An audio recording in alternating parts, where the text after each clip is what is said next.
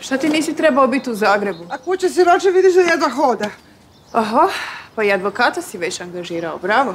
Zapravo, ja sam njegova privatna medicinska sestra i ne moraš uopće brinuti, ima vrhunsku njegu. Ne brinem ja, Ankice, draga, što se mene tiče, možete ga pustiti u prvi jarak. Ništa se vi ne zamarajte, Ankice. Suzani jako teško pada naš razvod. Aha, ti misliš na ovaj e, potpis koji ti ne želim i ne namjeravam dat, gospodine podministre? Jer vidite vi ovu pasivnu agresiju? Ja tako je malo pasivno agresivna. Ja znam ljubavi da je jako teško pasti sa konja na magarca, ali vrijeme je da kreneš dalje. Dragi moj Siniša, ja sam odavno krenula dalje, znaš. I hvala na pitanju, ali moj život je apsolutno fantastičan. Je. Uvijek si sanjala o tome kako meteš birtiju u selendri.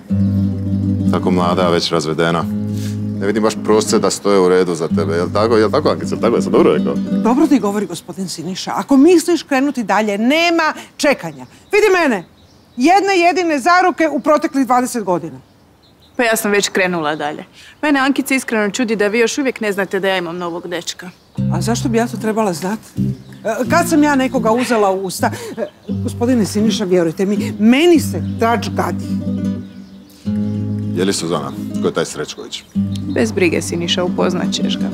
Ali odmah ću te upozoriti da je i pametniji i zgodniji od tebe.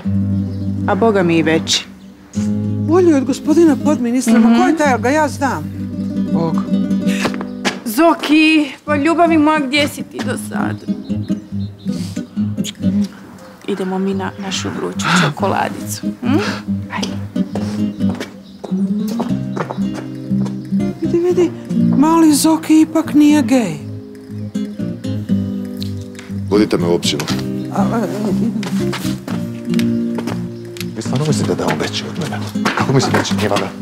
a ne, ne znam, ovo je meni prvi glas, mislim. Šta ja znam? Moje život